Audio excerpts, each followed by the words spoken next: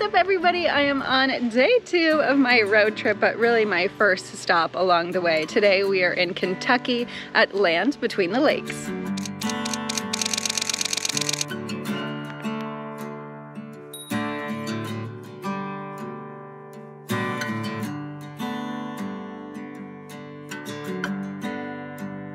This is my first time in this part of Kentucky and I will say the drive up here from Atlanta was so beautiful.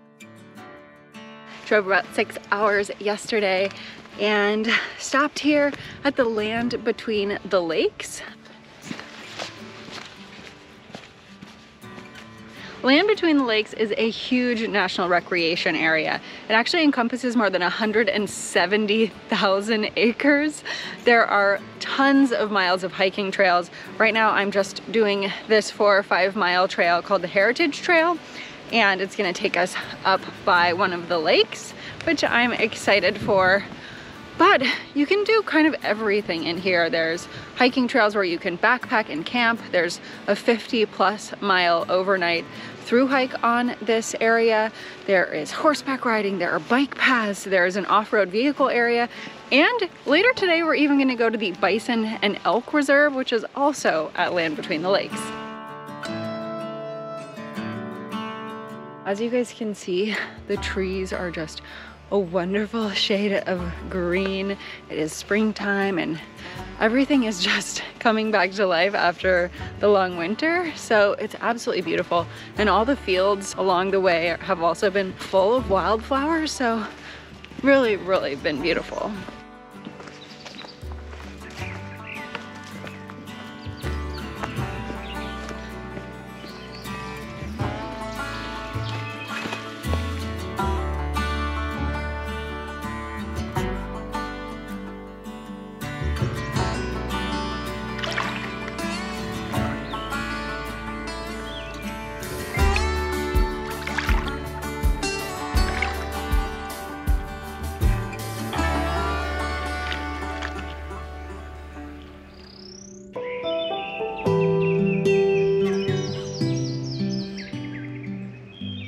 The history of land between the lakes is actually really, really interesting.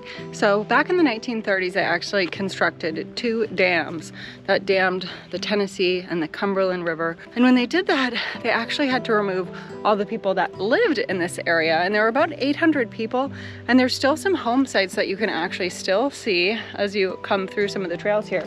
Now this was the home site of Louis Vogel, who actually became the first postmaster of the town that once existed here. And right now I'm actually on the Vogel Loop Trail. Now, later on in the 1960s is when this became a national recreation area by President JFK.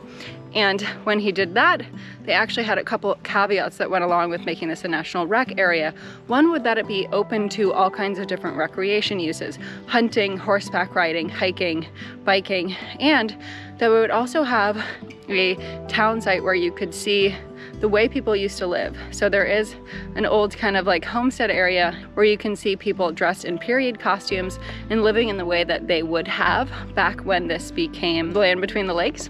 And the third thing that they did was create a protected area where bison and elk live, which is what we're gonna do next.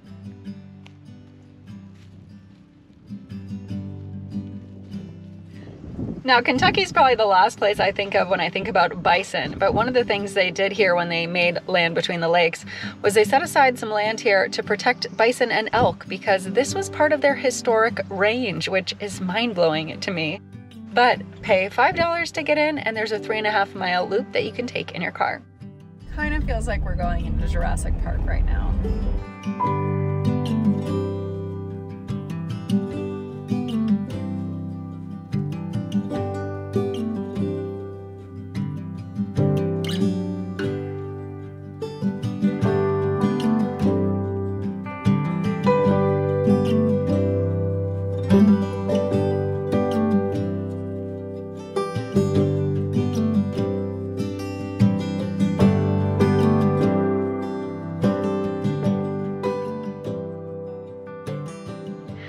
Actually a bunch of bison just over the hill here. I'm not gonna get too close because they're actually supposed to stay in your car except for kind of the designated spots here along the way.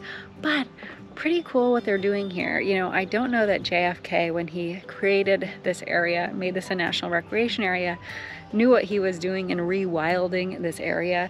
But if you guys watch my other channel ever, Nature News, you will see that I talk about rewilding a lot, which is really what they did here. You know, historically in America, the wide open pastures and things that we have were created from livestock.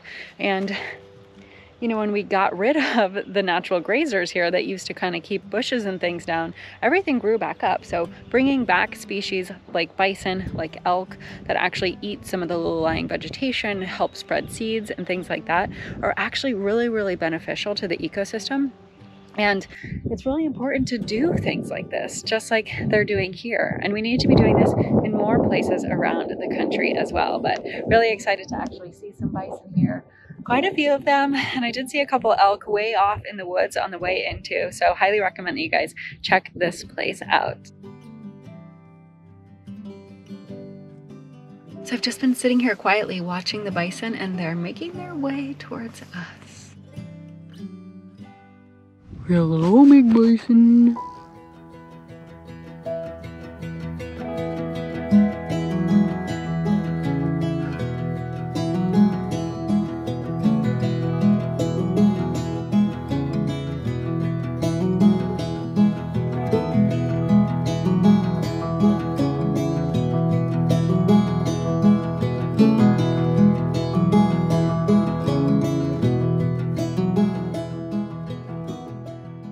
Kentucky has certainly had some unexpected wildlife and adventure. I've really enjoyed this little stop over here in Land Between the Lakes. And if you guys are in Western Kentucky or driving through this area, definitely make a pit stop here. You know, I'm on a cross-country road trip and I've got a lot more stops along the way, so I've got to get back in the car. But I hope you guys enjoyed this little hiking wildlife excursion here at Land Between the Lakes. And if you're new here, make sure you hit subscribe, turn on those bell notifications, and give this video a thumbs up.